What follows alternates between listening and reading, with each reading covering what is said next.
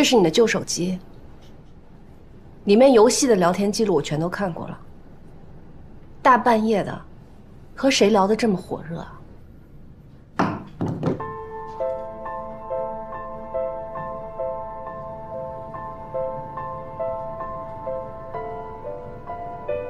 还不说话？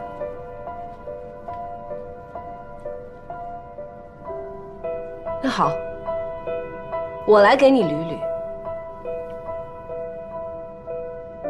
你为了方便偷情，在我的手机上安装了定位软件。中秋节，因为可可发烧，我们来不了金山，你转头就约了失眠的疾风。后来通过定位发现我又来了。你临时取消约会，蒙混过关。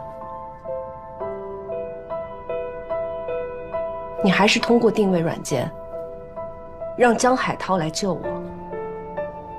今天也一样。你知道我要来你们公司，让你妈拖住我，为了防止我跟你的情人见面，是这样的吧？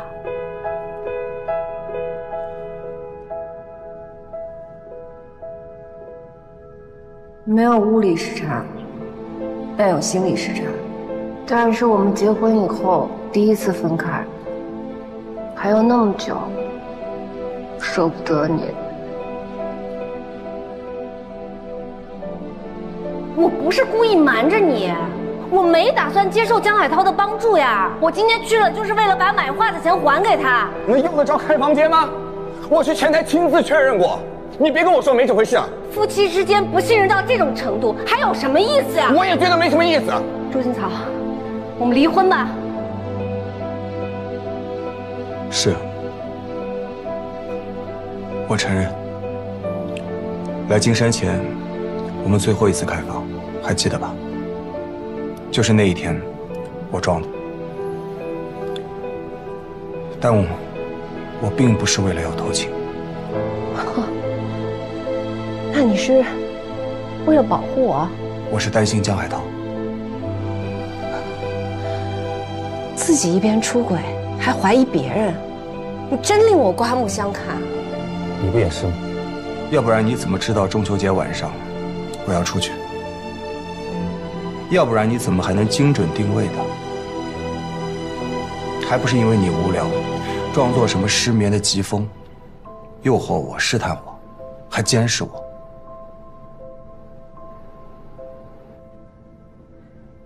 你觉得我是失眠的疾风？是我拿小号在试探你？不然呢？不然的话，就是你在我手机里也同样装了定位软件。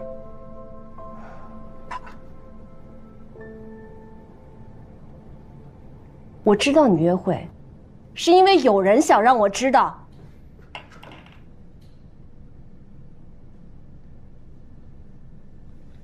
自己看看吧。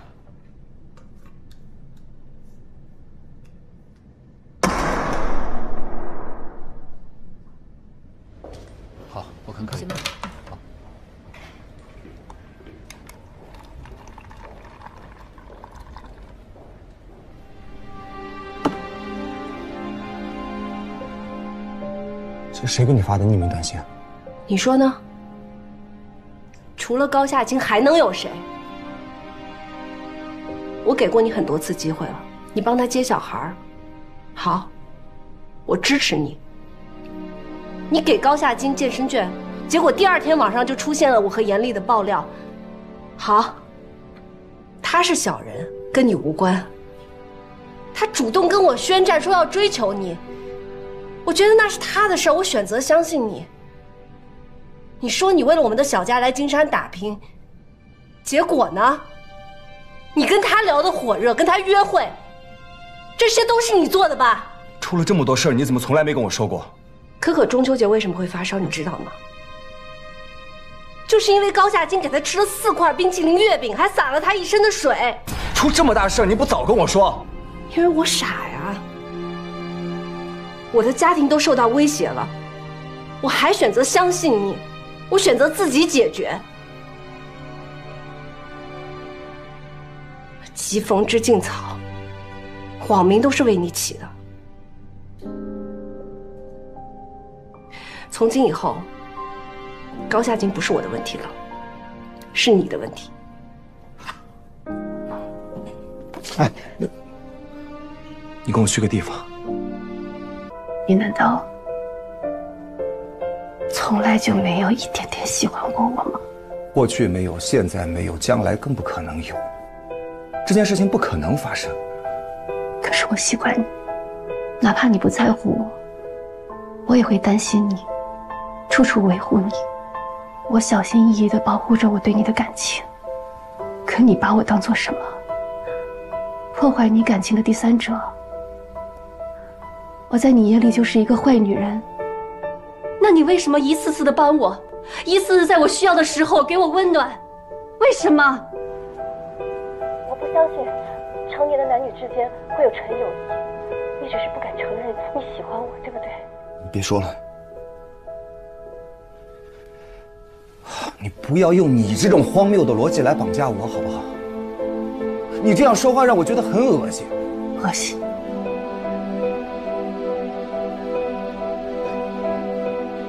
你现在觉得我恶心？你凭什么站在一个道德的制高点上去羞辱我？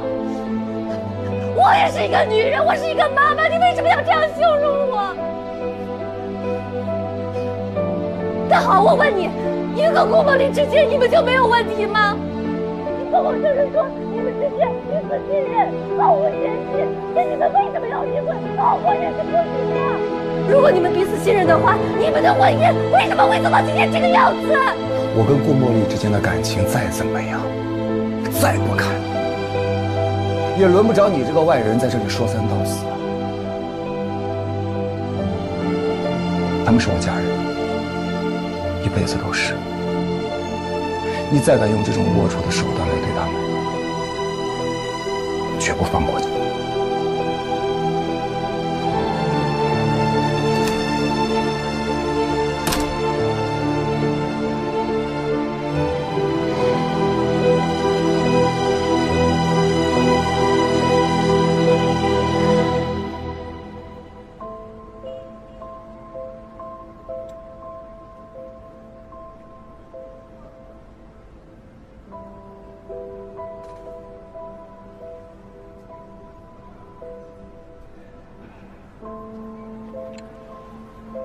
听完了，怎么不说话了？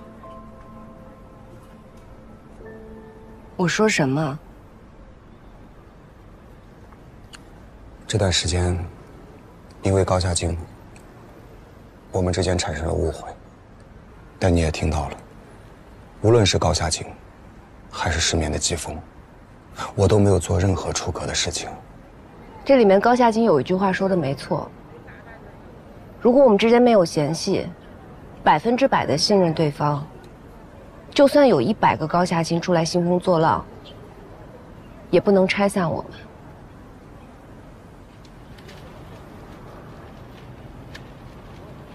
同样的意思，我之前跟你说过，你记得吧？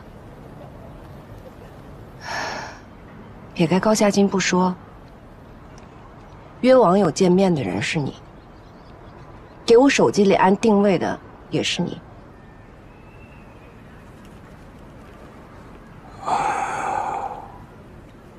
我承认我做错了。从今天起，我会好好反思我们之间的问题。我真的会改。你给我个机会好不好？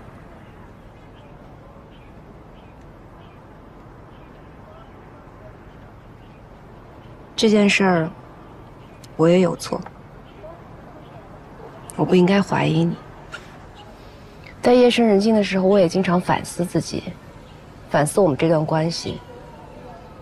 我们彼此都拼尽全力了，为什么还是走到今天这一步？我们怀疑过对方，伤害过对方，向对方亮过爪子，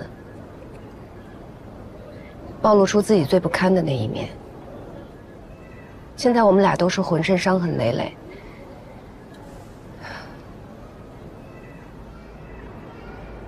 好累。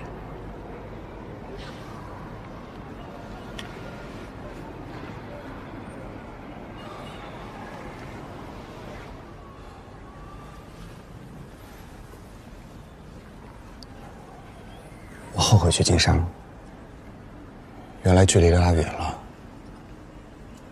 真的容易产生误会。就像滚雪球一样越滚越大。我想从金山调回来，我们重新开始，好不好？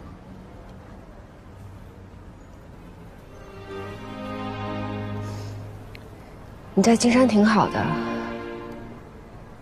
距离让我们产生了问题，距离也会让我们彼此冷静。